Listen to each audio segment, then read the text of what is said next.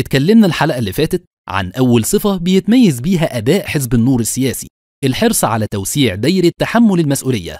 النهاردة هنتكلم عن تاني صفة من صفات الأداء السياسي لحزب النور وهي سعيه لإصلاح مؤسسات الدولة وتحسين أدائها ونبذ التصادم معها وده ناتج عن حرص حزب النور على تطبيق قواعد السياسة الشرعية اللي دايما بتقدم المحافظة على كيان الوطن واستقراره المجتمعي على أي حاجة تانية وده نهج الأنبياء والمصلحين عبر التاريخ. عندك مثلا النبي صلى الله عليه وسلم أول ما دخل المدينة أسس للاستقرار المجتمعي فقال أيها الناس أفشوا السلام وأطعموا الطعام وصلوا الأرحام. وسيدنا علي بن أبي طالب لما تولى الخلافة قدم لم شمل الدولة وحفظ استقرارها على البداية بالقصاص من قتلة سيدنا عثمان رضي الله عنه.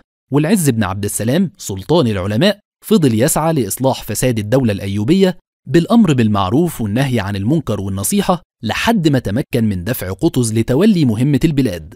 وأمثلة كتير تانية موجودة في التاريخ القديم والمعاصر عن الموضوع ده. لو هنتكلم عن مصر كدولة كبيرة بيعيش فيها أكتر من 90 مليون إنسان وليها علاقات إقليمية ودولية متشعبة وبرضه ليها أعداء متربصين في الخارج والداخل فمجرد تخيل تعطيل مؤسسات الدولة وترك الناس بعضهم لبعض لمجرد ولو ليوم واحد ده أمر كارثي. وكلنا شفنا لما غاب جهاز الشرطة بالكامل وقت الثورة قد إيه كانت حالة الخوف عند الناس؟ ولولا تدخل مؤسسات تانية من مؤسسات الدولة وهي الجيش لحفظ الأمن والنظام كان الوضع هيبقى أسوأ بكتير. وده هينقلنا للصفة الثالثة من صفات أداء حزب النور السياسي وهي المعارضة البناءة. في نوعين من المعارضة.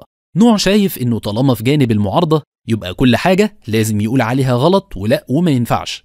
لحد ما يتنقل لجانب الأغلبية أو الحكومة هتلاقيه بيقول على نفس الحاجات دي إنها تمام وزي الفل. دي معارضة هدامة. وفي نوع تاني شايف إن الهدف من المعارضة مش المعارضة في حد ذاتها ولكن الهدف تقديم نصائح وخطة إصلاح للحكومات الموجودة بغض النظر عن الأشخاص والانتماءات. ودي معارضة بناءة. وأكبر مثال عملي قدمه حزب النور تطبيقا لسياسته البناءة هي مبادرته اللي تقدم بيها في يناير 2013 رغم الخلاف الشديد وقتها مع جماعة الإخوان بعد الإعلان الدستوري اللي أعلنه الرئيس السابق محمد مرسي واللي سبب حالة انقسام حاد جدا في المجتمع وكان في حالة غضب كبيرة لدرجة إن الناس نزلت تتحدى قرار حظر التجوال بدورات كرة القدم. حزب النور وقتها اتقدم بمبادرة لحل الأزمة رحبت بيها كل القوى السياسية الأخرى لكنها للأسف تم رفضها من جماعة الإخوان المسلمين وتجاهلها الرئيس تماما. لحد ما تفاقمت الأمور أكتر وأكتر على مدار الأشهر التالية. واضطر الرئيس إنه يعلن موافقته عليها في يونيو 2013 ولكن للأسف بعد فوات الأوان. والنهاردة كمان حزب النور مستمر رغم تمثيله الأقل في البرلمان إنه يطبق سياسة المعارضة البناءة ويقدم رؤيته لحل كتير من المشكلات والأزمات مع كشف ورفض مظاهر الفساد من غير هدم وصدام ودعم القرار الصائب مع تقديم الرؤى والمقترحات لإصلاح نظام الحياة المختلفة.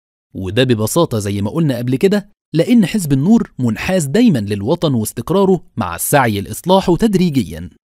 نشوفكم الحلقة الجاية بإذن الله. ما تنساش like و share وبعت لنا تعليقاتك حتى لو نقد. بس زي ما اتفقنا نقد بناء نستفيد بيه من بعض.